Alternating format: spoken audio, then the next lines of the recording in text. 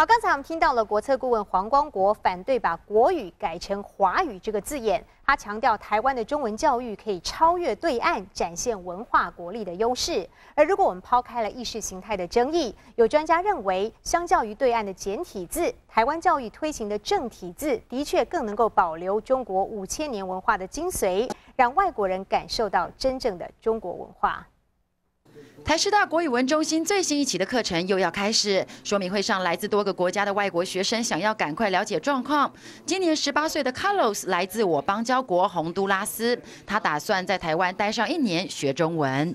I personally chose Taiwan because there's more freedom of cultures here. People are more understanding, and it would be easier for me to fit in this culture than Chinese culture. 担任志工的 Rebecca 已经在这学了九个月中文，她觉得正体字学起来比简体字难，可是当中的意涵与字形很吸引人。Simplified is much more simple, but traditional I think is more beautiful written. It just it, it it's a lot more strokes, a lot more character strokes.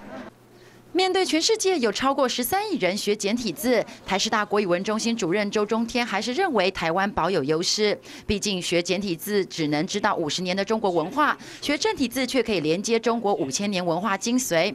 况且台湾人热情游历，可以透过语文与文化密不可分的关系，让外国人体认优良的中国传统文化。提大陆学中文的话呢，有几个字是不必学的，啊，说你不必谢谢。对不起啊，不必学这个字用不着的，用不上的。周中天强调，中国文化不是只有舞龙舞狮，又或是包粽子，文化是在生活中体现、转化成思想与行动。也因此，就算中国近几年抢收外国人，但这个部分的文化优势，台湾还是很强。记者小会沈志明台北报道。